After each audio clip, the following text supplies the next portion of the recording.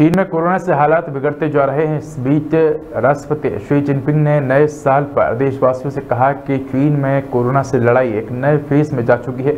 हमारे सामने बड़ी चुनौतियों के साथ उम्मीद की किरण भी है। हम साथ रहकर मजबूती से इस परेशानी से बाहर निकल जाएँगे। वहीं लंदन की global health intelligence company air affinity ने चौंकाने वाला दावा किया है जानकारों का कहना है कि चीन में 13 जनवरी को कोरोना का पीक आएगा इस दिन यहां सैंतीस लाख केस आएंगे कोरोना से होने वाली मौतों का पीक 23 जनवरी को आएगा इस दिन पच्चीस हजार मरीजों की मौत होगी